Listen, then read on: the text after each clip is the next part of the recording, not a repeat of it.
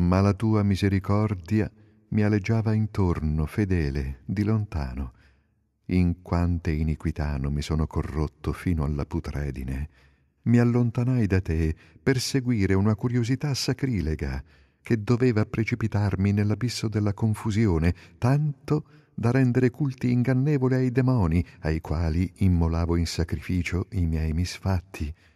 E tu continuavi a flagellarmi.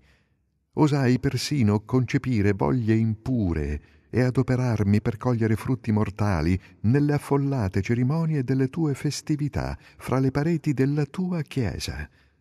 Perciò mi hai punito duramente. Ma i tuoi castighi erano nulla rispetto alla mia colpa.